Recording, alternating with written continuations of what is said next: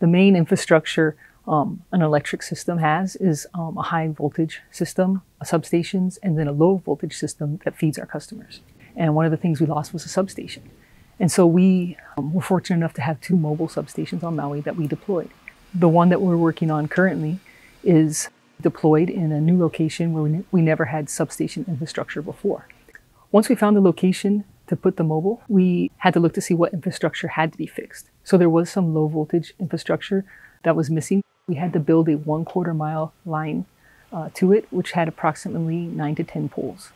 And in that location, we grubbed, uh, graded, and installed a ground grid for our mobile, along with installing a fence around it to keep it safe for our people, the public, and for our equipment.